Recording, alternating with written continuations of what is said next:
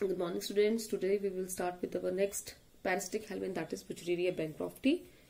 Some of the students were not able to complete this in the classroom, so they will learn through this video. If we talk about Wuchereria, it causes filariasis or the elephantiasis. The term elephantiasis you have also uh, studied this term in your lower classes or you have seen the cases of elephantiasis in TV in the different TV channels in which people they they have the enlarged legs or the arms or the scrotum or the breast that is being enlarged due to the infection of this filarial worm called as the Wuchereria bancrofti. If we talk about discovery, it was discovered by Dermake and later on Wucherer and Bancroft they found in them in urine and the adult female respectively. That's why its name was later on given as the Wuchereria bancrofti. Now if we talk about geographical distribution, it is also a widespread parasite which is seen in many parts of the world except some of the polar regions and it is more prevalently seen in the uh, developing countries and some countries like the uh, North America, Africa where it is not seen. Otherwise it is seen in the most of the parts of the world. If we talk about India, in India also the central part of the India and the states of the Gujarat, Maharashtra, Uttar Pradesh, Odisha, Madhya Pradesh, many of the people are being infected by this parasite. Approximately 2 crore people are infected, whereas the 1 crore people, they show very severe symptom of this disease. Now, talking about the morphology. The morphology, this is the diagram showing the male and the female. As you know, these helmets, sorry, these helminths are sexually dimorphic. That means the male is different from the female. The male that is smaller in size and the female that is larger in size. The size of the female is approximately 65 to 100 mm whereas the male is 40 mm in size. And what is peculiar about the male? That the male have the curved tail. If you remember ancylostoma, then in case of ancylostoma, the posterior part of the male that that was having a copulatory bursa which help in copulation. But in case of Wuchereria the male that have a curved tail. So this is the most peculiar identifying features from which we can differentiate between the male and the female. Now talking to the morphology in detail thus Wuchereria that have this is the pharynx then the pharynx let's see here this is the mouth mouth is having the lips why the lips are there? Uh, because this parasite actually it is found in the lymph of the man. ठीक है ये जो है वो lymph में मिलेगा आपको lymphatics जो भी है आपके चाहे वो लिम्फ ग्लैंड्स हैं लिम्फ नोड्स हैं आपके लिम्फ वेसल्स हैं जो भी लिम्फेटिक्स है वहाँ पर ये हमें मिलेगा ठीक है? तो लिम्फ में जो है ये फ्रीली मूव करता है, इसको अटैचमेंट की ज़रूरत नहीं होती है। That's why it don't have the special structures teeth और other structures present over the mouth for the attachment जैसे कि हमने इंसालोस्टोमा में देखा था, उसमें टीथ जो थे इंटीरियर एंड पे माउथ पे प्रेजेंट थे which help the parasite to attach to the intestine so here we don't have any teeth simple lips are present in the mouth The next part of the alimentary canal is the pharynx. After the pharynx, we have a dilated esophagus. Now, after the esophagus, the gut that starts. The nerve ring, which is a part of the nervous system, it is present below the esophagus. जबकि जो हमारा Ancylostoma था उसमें जो nerve ring थी वो काफ़ी ऊपर थी ठीक है उसके बाद यहाँ पर ये जो ग्लैंड नज़र आ रहा है this is the excretory gland this is the excretory gland and the opening of excretory gland is called as the excretory pore जो यहाँ पे गोनोपोर लिखा है वो गलत है। This is not the gonopore this is the excretory gland part of the excretory system and the opening of the excretory gland is called as the excretory pore and the next is the intestine the intestine that last up to the last part of the body that is the anus जैसे वहाँ पे था, वैसे ही यहाँ पर है। The female that have the different opening of the reproductive and the digestive tract. The digestive tract that opens out through anus whereas the reproductive tract that open through the vulva or the female genital pore or the gonopore. Whereas in case of the male, the genital and the reproductive, uh, sorry, the reproductive and the digestive tract that open by a common pore called as the cloaca. So this is the cloaca and one more structure are seen in the male that are the papillae. These are the genital papillae which are seen on the sides of the cloaca. The secretion of this genital papillae release some uh, fluid material which help in copulation. Copulatory spicules बिल्कुल वैसे ही copulatory spicules यहाँ पर भी present होंगे जैसे copulatory spicules जो है वो प्रेजेंट थे हमारे एनसेलोस्टोमा में so this copulatory spicules actually they help in opening of the female genital pore and the transformation of the sperms during the process of the copulation. Right? Now the male that also have the testis male में testis है testis के बाद जो है वो आपका आगे ये वाला जो duct दिया है this is the sperm duct और the ejaculatory duct testis जो है वो एक तरफ़ को हमारे यहाँ प्रेजेंट है उसके बाद हमारा आगे ये कंटिन्यू होगा स्पर्म डक्ट और दी इजैक्यूटरी डक्ट में। And ultimately this reproductive tract that will open into the cloaca which is the common opening of the reproductive and the digestive tract now in case of the female reproductive tract what we will see we will see the coiled ovary and the oviduct ovary और oviduct यहाँ पे coiled नहीं दिखाई है otherwise जो वो काफ़ी ज़्यादा क्वाइल्ड होती है। ओवरी और ओविडक्ट जो वो क्वाइल्ड है।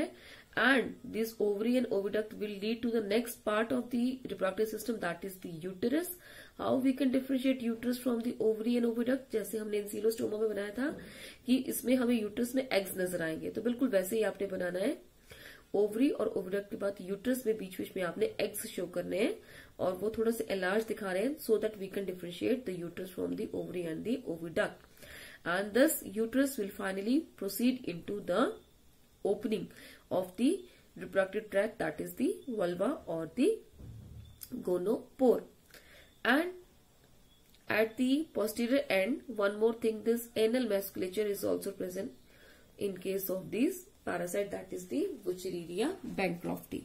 So this is a sexually dimorphic animal having the different male and the female. So when the question will be asked about morphology, you have to draw the diagrams of both male and female and discuss the different points of difference between the two and have to write about their reproductive system. That what are the different parts of the reproductive system which are seen in the male and the female of this organism. Now coming to the life cycle. The organism that is Wuchereria bancrofti, it is a digenetic parasite.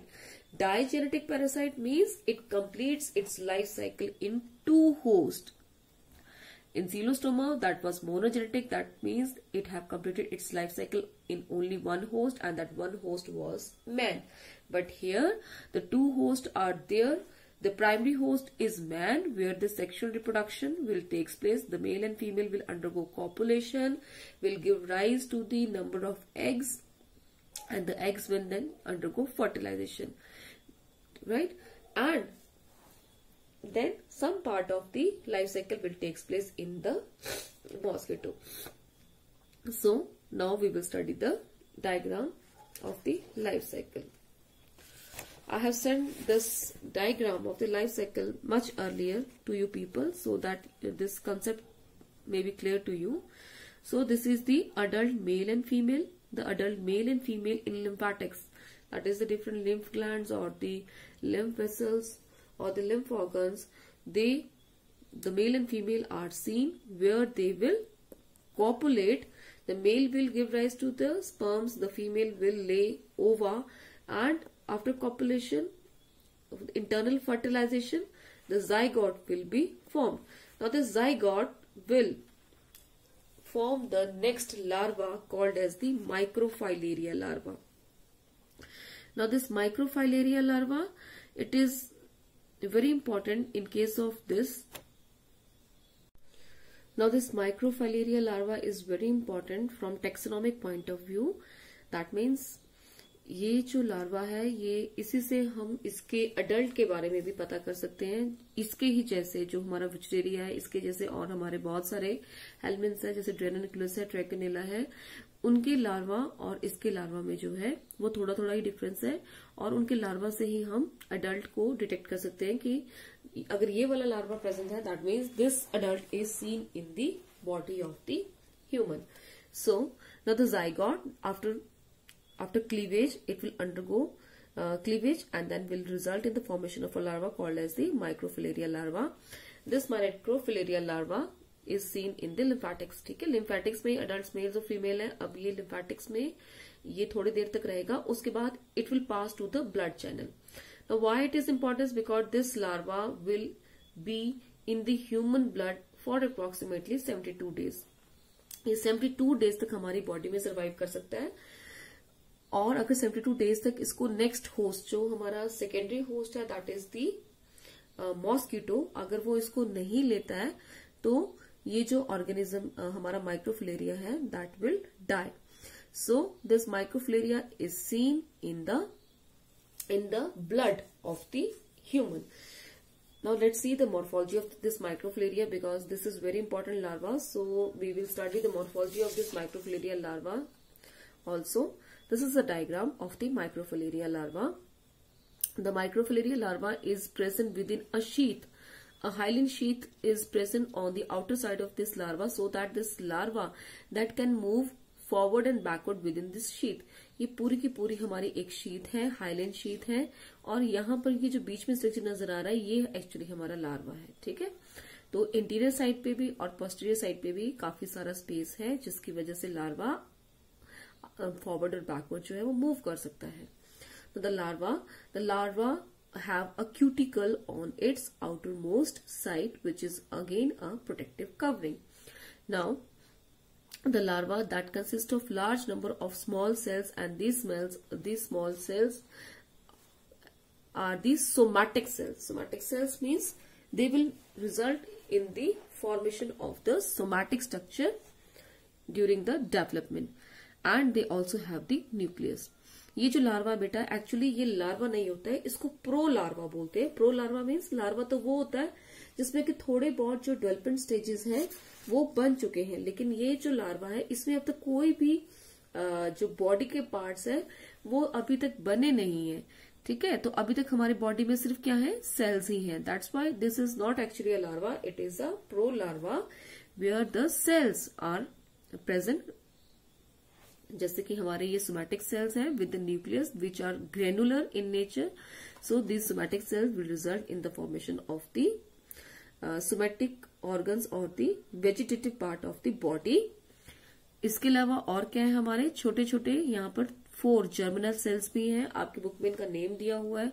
G one G two G one G two G three and G four तो four germinal cells हैं जो बाद में चल के क्या बनाएँगे हमारे? जेनेटल ऑर्गन्स इसके अलावा और क्या क्या प्रेजेंट है?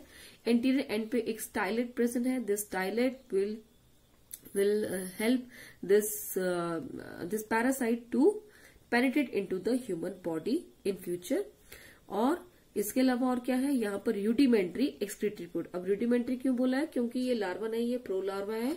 तो यहाँ पर रूडिमेंट्री मीन्स द जो यहाँ पे एक्सक्रीटरी पोर प्रेजेंट है, जो बाद में चल के एक्चुअल में आपका एक्सक्रीटरी पोर बनाएगा, यहाँ पे एक्सक्रीटरी ग्लैंड बनेगा और एक्सक्रीटरी पोर यहाँ पर बनेगा। ऐसे ही आपके पोस्टीरियर साइड पे एनल पोर प्रेजेंट है which is also rudimentary rudimentary anal pore is there this rudimentary anal pole in future will form the anus. So, this is the structure of the microfilaria larva, कई बार इसके ऊपर भी two marks question आ जाता है।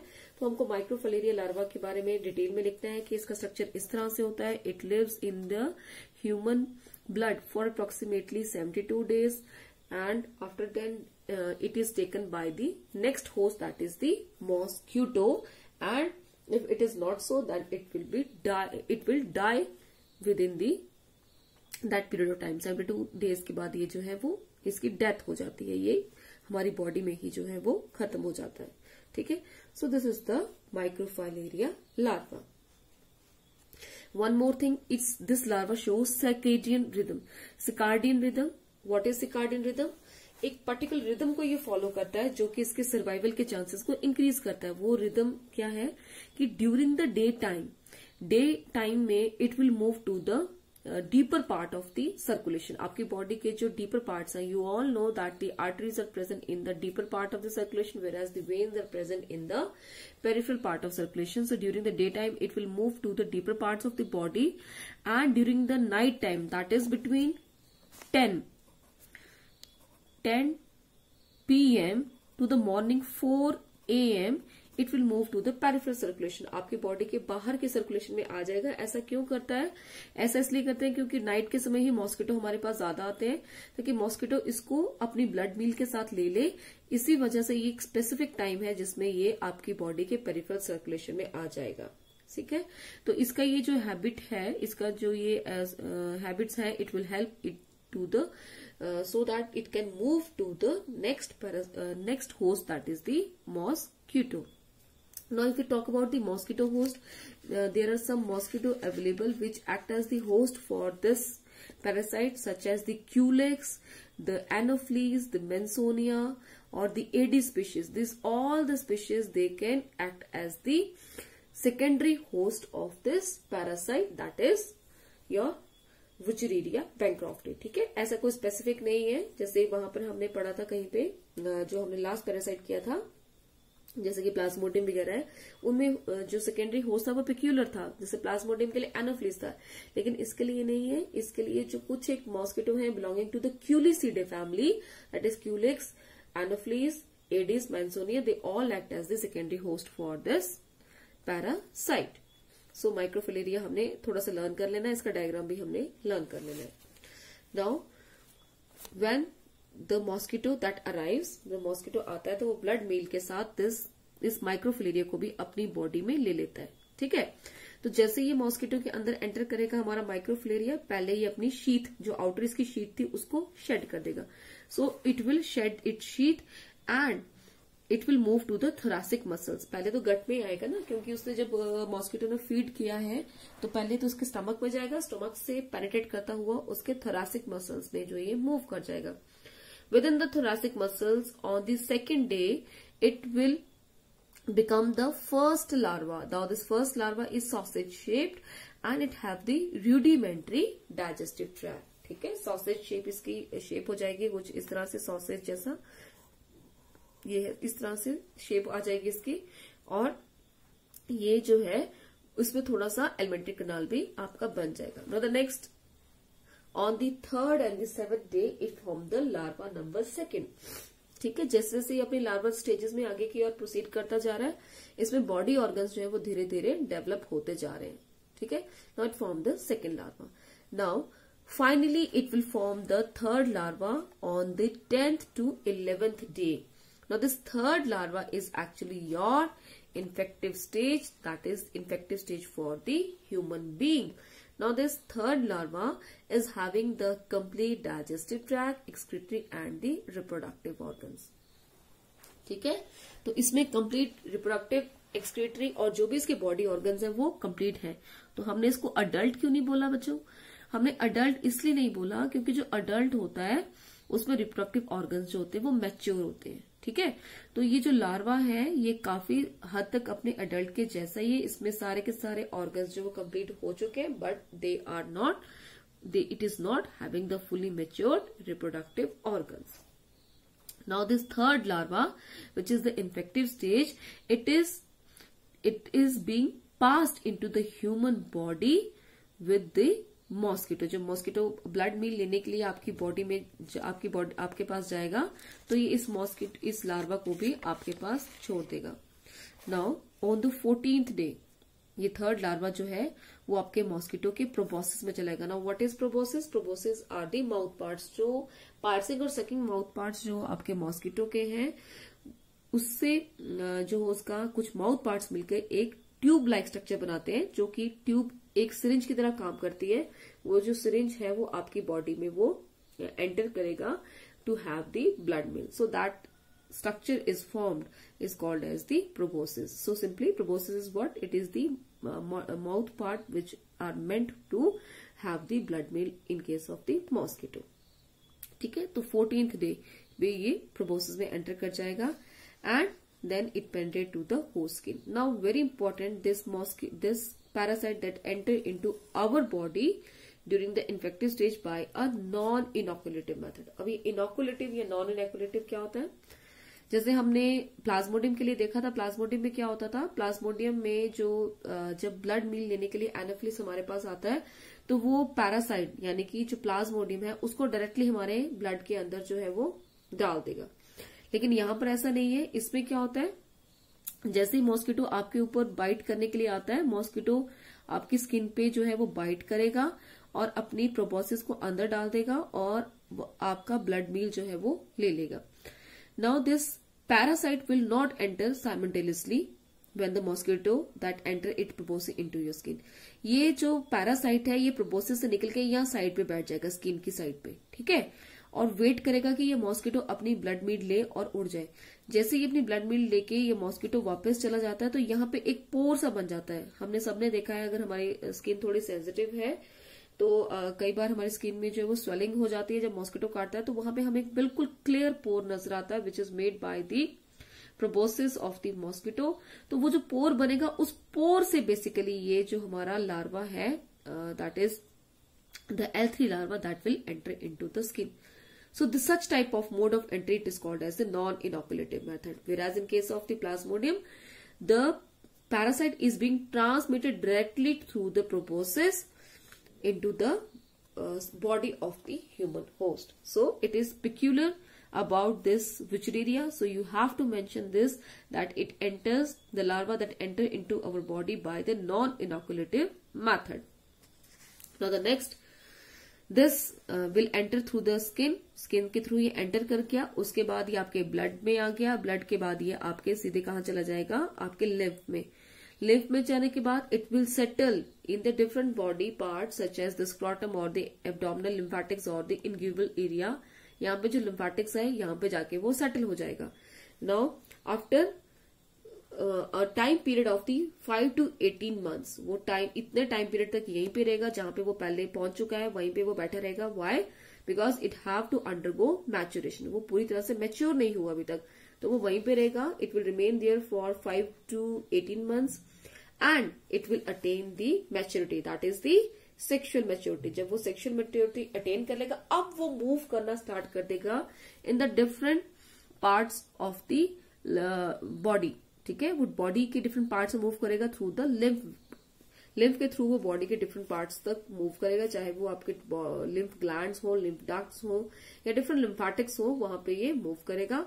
And due as it have attain the sexual maturity now it will start its sexual reproduction once again so this is the life cycle of the parasite that is wuchereria ये आपने अच्छे से कर लेना है। The complete life cycle of the parasite that is approximately 5 to 10 years 5 to 10 years तक ये हमारी बॉडी में रहता है, ठीक है? तो हमने इसमें जो स्पेसिफिकली लर्न करना है, वो हमने करना है माइक्रोफिलेरिया लार्वा और इसका लाइफ साइकिल भी अच्छे से करना है। कई बार इसका लाइफ साइकिल भी जो है वो हमें पूछ लेते हैं। Next is the pathogenicity you all know it causes elephantiasis मैंने पहले आपको बोल दिया कि जो सिवियर स्टेज पे ये एलिफेंटियासिस करता है, उसके पहले ये कहाँ पर एंटर करके आया हमारे लिम्फ ग्लैंड्स में या लिम्फ डक्ट्स में एंटर इसने किया हुआ है। तो जो हमारे लिम्फ ऑर्गन्स हैं, जब हमारी कंडीशन इतनी सिवियर नहीं है तो it will result in the enlargement of the lymph organs resulting in lymph oedema ठीक है? लिम्फ एडिमा हमें ये कॉज करेगा। then it can also result in lymphangitis. Lymphangitis is what? It is the swelling of the lymph vessels. Okay? And it may also result in the lymphangitis, which is the swelling of the lymph uh, lymph glands. ठीक है lymph vessels की swelling को lymphangitis बोल रहे हैं and the lymph uh, glands if they are also swallowed they are called as the lymphangitis. So uh, इसके साथ headache depression filarial fever ये सारे के सारे फीचर्स जो हमें देखने को मिलेंगे। हेडिक है आपका then the mental depression fever ये सारी के सारी चीज़ें जो है वो हमें देखने को मिलेगी। And in more severe cases जब ज़्यादा ही इसकी बॉडी में अगर ये ला, लार्वे इसके या फिर एडल्ट बहुत ज़्यादा हो जाते हैं सो तो ये क्या करते हैं ये आपके जो लिम्फ डक्ट्स होते हैं उनको ब्लॉक कर देते हैं ठीक है? Specially in the lower limbs of the body और lower parts of the body जहाँ पर भी आपके लिम्फ डक्ट्स हैं, जैसे ये आपके लिम्फ डक्ट्स हैं, अगर यहाँ पर ये मूव कर रहा है और इनकी पॉपुलेशन अगर बहुत ज़्यादा हो जाती है तो ये इस लिम्फ डक्ट को क्या कर देंगे? ब्लॉक कर देंगे। तो जो लिम्फ है वो धीरे धीरे लोअर पार्ट में क्या है? अकोमोलेट होना स्टार्ट हो जाएगा। जब लोअर पार्ट में ये अकोमोलेट होना स्टार्ट हो जाएगा तो बॉडी का वो पार्ट नीचे जहाँ पे लिम्फ की अकोमोलेशन हो रही है दैट विल स्टार्ट स्वेलिंग उसमें बहुत ज़्यादा वो लिम्फ भर जाएगा लिम्फ उसमें कॉमुलेट हो जाएगा। So that will result in the elephantiasis और दी फालेरियासिस ठीक है?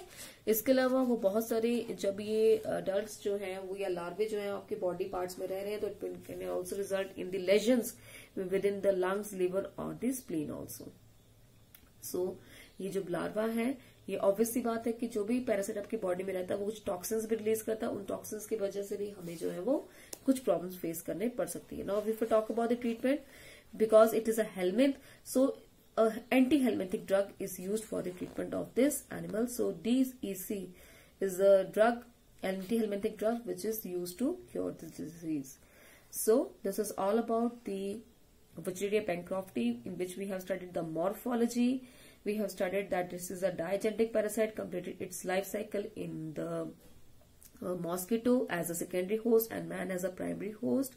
Very important microfilarial larva is there showing the circadian rhythm and the non-inoculative mode of the transmission of this uh, parasite into our body and the elephantiasis and the other diseases such as the lymphangitis or the lymphadentis which is caused by this animal.